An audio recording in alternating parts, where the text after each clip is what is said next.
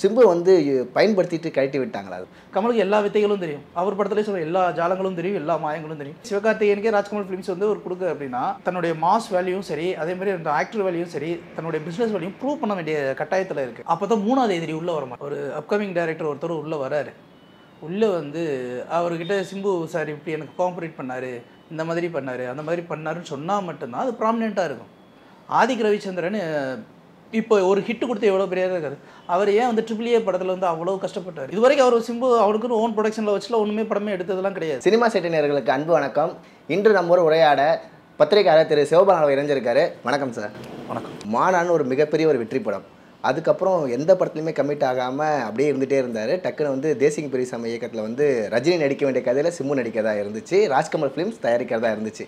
இப்போ வர விஷயங்கள் என்னன்னு கேட்டிங்கன்னா ராஜ்கமல் நிறுவனம் அந்த படத்தை கைவிட்டதாக வந்து நியூஸ் வருது. இது எந்த அளவுக்கு சார் ஆக்சுவலாக ஃபஸ்ட்டு நீங்கள் ஒன்று சொன்னீங்க இல்லையா?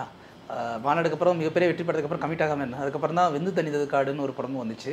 அது அந்த அளவுக்கு போகல ஒரு ஆவரேஜாக தான் போச்சு. அதனால் பெருசாலாம் இது பண்ணல. தேசிங் பெரியசாமியும் அதுவும் தேசிங் பெரியசாமி எப்படி பழக்கம் அப்படின்னா அகத்தியன் வந்து அகத்தியனுடைய மருமன் தான் தேசிங் பெரியசாமி. இன்னொரு பக்கம் கண்ணும் கண் கொள்ளையடித்தால் படம் வந்து ரொம்ப சைலண்ட்டாக உள்ள வந்து வயலண்ட்டாக ஒரு ஹிட் அடிச்சுட்டு போச்சு. துல்கர் சல்மான் சார் எல்லாருமே அது ஒரு டப்பிங் படம்னு நினச்சிக்கிட்டு இருந்தாங்க. பட் படம் பார்க்கும்போது என்ன இப்படி ஒரு படமாக இருக்குது அப்படின்னு சொல்லிட்டு ரஜினியை பார்த்து பாராட்டி ஒரு கதை ரெடி பண்ணுங்க தம்பி வித்தியாசமாக இருக்குது அப்படின்னு சொல்லி தான் ஆரம்பித்தாங்க அந்த கதைக்கு ரஜினிக்குன்னு போகும்போது அதோட ஸ்கேல் பெரிய ஸ்கேலாக இருந்துச்சு. அதே மாதிரி இடையில ரஜினிக்கு சில கமிட்மெண்ட்ஸ் இருந்துச்சு. அதனால் வேறு வழியே இல்லாமல் இப்போ அவங்க ஃபேமிலி இஷ்யூஸ் கொஞ்சம் இருந்துச்சு. ஸோ அந்த ஃபேமிலி இஷ்யூஸ்லாம் ஷார்ட் அவுட் பண்ணிட்டு இதுக்கு எடுத்து வரணும் அப்படின்னால அந்த பட்ஜெட்டு அந்த ஸ்கேலு அது ராஜ்கமல் ஃபிலிம்ஸு அப்படின்னும் போது ராஜ்கமல் ஃபிலிம்ஸில் ஃபினான்ஷியலாக அப்போது கொஞ்சம் கன்ஸ்டைனில் இருந்தாங்க. இது எல்லாத்துக்காக தான் கொஞ்சம் டைம் ஒதுக்கி அதுக்கப்புறம் வேண்டாம் கொஞ்சம் தள்ளி போயிடலாம்னு சொல்லி அங்கே தேசிங் பெரியசாமி ஒரு எட்டு ஒன்பது மாதங்களாக வெயிட் பண்ணி அதுக்கப்புறம் அந்த கதையை எடுத்துகிட்டு போய் சிம்பு கிட்ட அப்ரோச் பண்ணலாம் அப்படின்னு சொல்லி சிம்பு கிட்ட அப்ரோச் பண்ணுறாரு சிம்புக்கு அந்த கதை ரொம்ப பிடிச்சி போச்சு.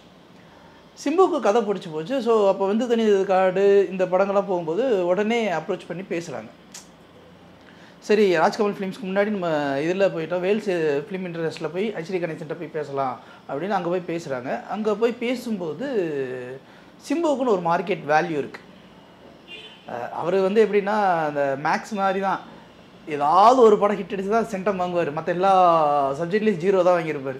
அது மாதிரி ஏதாவது ஒரு படம் ஹிட் அடிச்சிருக்கும். அதுக்கப்புறம் பார்த்தீங்கன்னா வரிசையாக ஒரு பத்து ஃப்ளாப் இருக்கும். கிட்டத்தட்ட அஜித் கேட்டகரி மாதிரின்னு வச்சுக்கோங்களேன். இந்த மாதிரி வந்து அவருக்கு மாநாடு ஹிட் ஆயிடுச்சு அப்படின்றதுக்காக அவரோட பிஸ்னஸ் ஸ்கில் உடனே ஒயிட் ஸ்ப்ரெட் ஆயிடுச்சா அப்படின்னா ஆகாது.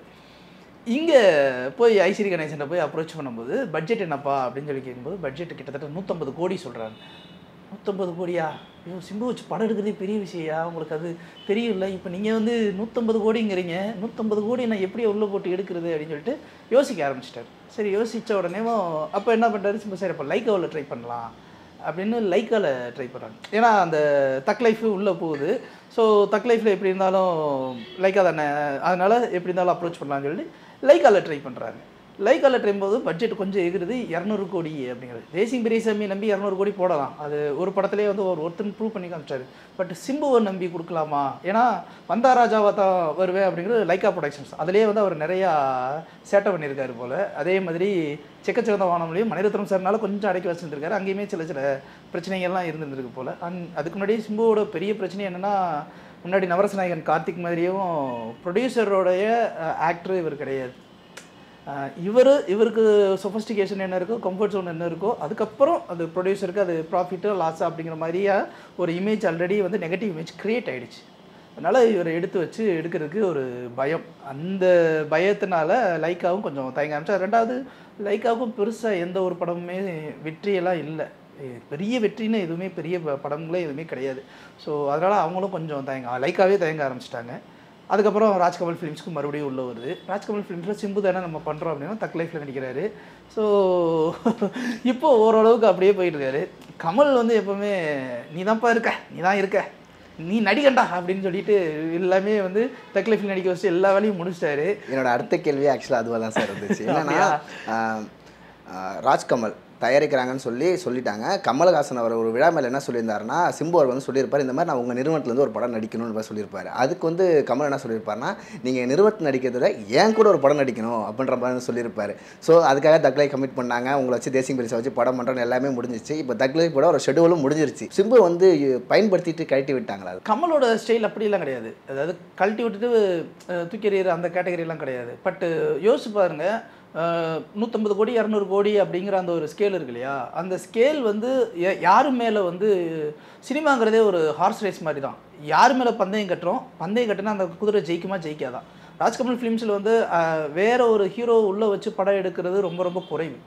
ஏன்னா அது அங்கே பெருசாக பிஸ்னஸ் போகாது. நீங்கள் பிஸ்னஸ் ஆஸ்பெக்டில் யோசிக்கணும். எனக்கு தெரிஞ்சு ராஜ்கமல் ஃபிலிம்ஸில் வந்து வேறு ஆக்டர்ஸ் வச்சு எடுத்த படங்கள் மகளிர் மட்டும் நலத்தமையந்தி இந்த மாதிரி ரெண்டு மூணு படங்கள் மட்டும்தான் அதிகபட்சமாகவே இருக்கும். வேறு மேக்ஸிமம் வந்து கமல் நடிச்சிருப்போம் அப்புறம் ரீசெண்டாக கடாராம் கொண்டான். இவ்வளோ தான் கடாராம் கொண்டான் அட்டர் ஃப்ளாப்பு அதில் கூட நலத்தமையந்தியும் நடிச்சிருந்தாங்க. பெருசாலாம் போகவே இல்லை. மகளிர் மட்டும் ஆவரேஜாக தான் போச்சு. ஸோ ராஜ்கமல் ஃபிலிம் இன்டர்நேஷனலில் வேற ஒரு ஆக்டர் வச்சு பண்ணும்போது படத்தோடைய பிஸ்னஸ் ஸ்கில் இங்கே ஒரு ப்ரொடியூசரோ ஒரு டிஸ்ட்ரிபியூட்டர் படத்தை பார்க்குறான்னா கமலுக்காக பார்க்க மாட்டான். இதுக்கு முன்னாடி இந்த இந்த ஃபிலிம் ப்ரொடக்ஷன் இருந்து என்ன பிஸ்னஸ் ஆகிருக்குன்னு தான் பார்ப்போம். அந்த ஆஸ்பெக்டில் நூற்றம்பது கோடி ரூபா போட்டு திருப்பி எடுக்க முடியுமா? அப்படின்னு ஒரு கேள்வி வருது இல்லையா? ஸோ கமல் செகண்ட் தாட்டை யோசிப்பார். கமலுக்கு எல்லா வித்தைகளும் தெரியும். அவர் படத்துலேயே சொல்கிற எல்லா ஜாலங்களும் தெரியும் எல்லா மாயங்களும் தெரியும். அதனால் மேக்ஸிமம் என்ன பண்ணியிருப்பாரு சிம்பு இதில் நடிங்க. அதுக்கப்புறம் பார்த்துக்கலாம் அப்படின்னாரு இப்போ சிம்பு அதனால் என்ன பிளான் பண்ணியிருக்காரு இந்த படத்தோட பட்ஜெட்டை வச்சுட்டு நம்மளே ஒரு ஓன் ப்ரொடக்ஷனில் ஒன்று ஆரம்பிக்கலாம் அப்படிங்கிற ஒரு ஐடியாவில் இருக்கார். ஏன்னா நூற்றம்பது கோடி ரிஸ்க் எடுக்கிறதுக்கு எந்த ப்ரொடியூசரும் தயாராக இல்லை. காரணம் என்னென்னா முற்பகல் செய்யின் பிற்பகல் விளையும் சொல்லுவாங்கள்ல அது மாதிரி ஒரு முன்னாடி செஞ்ச விஷயங்கள் எல்லாமே வந்து ஒரு பின்னாடி தொடர்ந்து இப்போ இந்த இடத்துல வந்து அமைக்க வச்சிருக்கு. ஆனால் சிம்பு வந்து இப்போது எல்லா அப்கமிங் இன்க்ளூடிங் சிவகார்த்திகேயனுக்கே ராஜ்குமார் ஃபிலிம்ஸ் வந்து ஒரு கொடுக்கு அப்படின்னா சிம்புக்குன்னு ஒரு அவர் வந்து எல்லா டேலண்ட் எல்லா ஸ்கில்லுமே இருக்குது அதனால் அவரால் வெளில வரணும்னா அவர் இந்த இடத்துல வந்து கண்டிப்பாக தன்னுடைய மாஸ் வேல்யூவும் சரி அதே மாதிரி அந்த ஆக்டர் வேல்யூவும் சரி தன்னுடைய பிஸ்னஸ் வேல்யூவும் ப்ரூவ் பண்ண வேண்டிய கட்டாயத்தில் இருக்குது அதனால் வந்து அவர் வந்து ஓன் ப்ரொடக்ஷனில் பண்ணணும் அப்படிங்கிறதுக்காக தீவிரமாக இறங்கியிருக்காரு அப்படின்னு. தேசிங் பெரியசாமி இல்லை ஆனால் தேசிங் பெரியசாமி கிட்டத்தட்ட மூன்று நான்கு வருடங்களாக காத்திருப்பில் அவர் வெயிட் பண்ணிக்கிட்டே தான் இருக்கார். மேபி எப்படி வேணால் இருக்கலாம். ஏன்னா வெற்றிமாறன் வந்து பொல்லாதவன் முடிச்சுட்டு ஆடுகளம் படத்துக்கு அஞ்சு வருஷம் வெயிட் பண்ணார். அது மாதிரி கூட வெயிட் பண்ணி ஒரு ஹிட் கொடுத்தாலும் கொடுக்கும் தேசிங்க பெரியசாமி இயக்குனர்.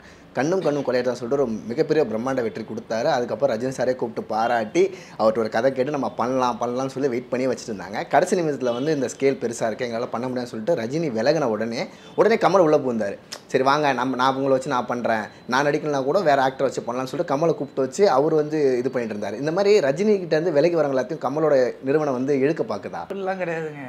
ஆக்சுவலாக அவங்க ரெண்டு பேத்துக்குள்ளேயுமே ஒரு அண்டர்ஸ்டாண்டிங் தான். நீங்கள் சினிமாவில் இது சிங்கம் டூ படம் பார்த்துருக்கீங்களா பார்த்துருக்கேன் சிங்கம் டூ படத்தில் ஒரு பக்கம் இந்த இந்த பாய் ஒருத்தர் இருப்பார் இன்னொரு பக்கம் ரகுமான் இருப்பார். ஊருக்குள்ள அவங்க ரெண்டு பேருமே வந்து இப்போ ரெண்டு பேர் பெரிய ரவுடி மாதிரியும் இவர் நல்லவர் இவர் கெட்டவர் மாதிரியுமே ஒரு ப்ளே பண்ணிக்கிட்டே இருப்பாங்க. ஏன்னா அப்போ தான் மூணாவது எதிரி உள்ளே வர மாட்டேன். நான் சொல்கிற விஷயம் புரியுதா? மூணாவது எதிரி உள்ளே வர மாட்டேன். கண்டிப்பாக போலீஸ்காரங்கிட்டே வந்து good cop bad cop story தெரியுமா?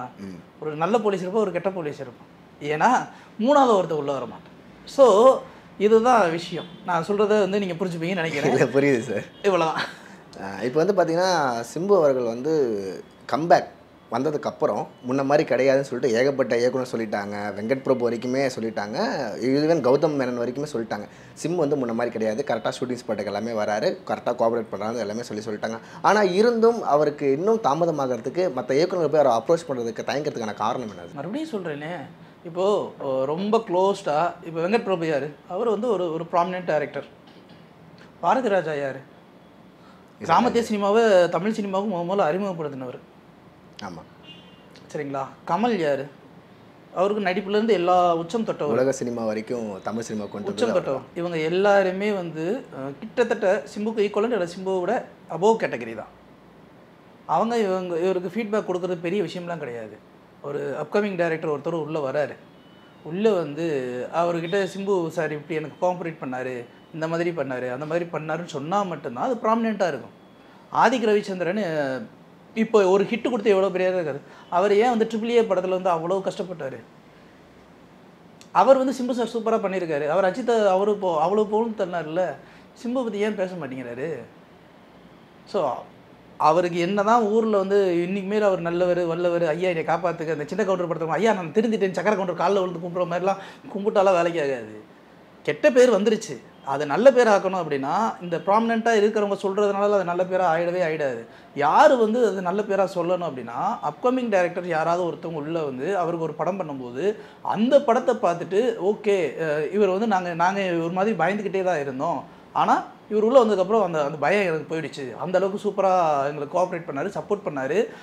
கதையில் அவ்வளோ இன்வால்வ்டாக நடிச்சிருந்தாரு அப்படின்னு சொன்னால் மட்டும்தான் சிம்பு நம்புவாங்க அது வரைக்கும் அவங்க என்ன தான் பேசினாலும் பிஸ்னஸ் பண்ணுறதுக்கு ப்ரொடியூசர்ஸ் தயங்கத்தான் செய்வாங்க.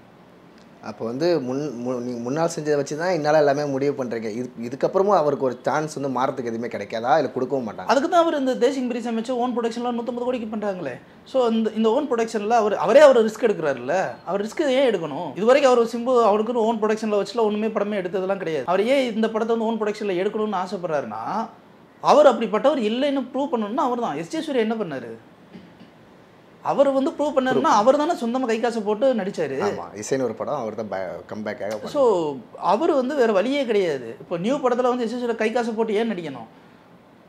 நான் ஒரு ஹீரோன்னு ப்ரூவ் பண்ணணும் அப்படின்னா எங்கேயுமே வாய்ப்பு இல்லை எல்லாருமே அவாய்ட் பண்ணுறாங்க அப்படின்னா அதுதான். சேரன் என்ன பண்ணார் ஆட்டோகிராஃபில் எங்கெங்கேயோ விஜய்க்கே போய் கதை சொல்லிட்டு தான் வந்தார். அக்செப்ட் பண்ணிக்கலன்னதுக்கப்புறம் வந்து வேறு வழியில் நம்மளே நடிச்சிருவோம்டா இந்த கதை ஜெயிக்கும்டா அப்படின்னு நம்பிக்கையில் இறங்குறாங்களே அது மாதிரி இவருக்கு இது ஒரு நம்பிக்கை. இறங்கிட்டு போகட்டும் இறங்கி ஜெயிக்கட்டும். ஜெயிச்சதுக்கப்புறம் வந்து அதுக்கப்புறம் எல்லா ப்ரொடியூசர்ஸ் அவர் லைன் கட்டி வரட்டுமே. தப்பு இல்லையே? சரி சார் தொடர்ந்து இது மாறும்னு நம்ம எதிர்பார்ப்போம். இந்த வீடியோ உங்களுக்கு பிடிச்சிருந்ததுன்னா எங்கள் சினிமா சட்டை சேனலை மறக்காமல் சப்ஸ்கிரைப் பண்ணுங்கள் பெல் பட்டனை கிளிக் பண்ணுங்கள் மேலும் இதே மாதிரி பல தகவலோடு இணைந்திருக்க எங்கள் சேனலை தொடர்ந்து பாருங்கள் நன்றி வணக்கம்.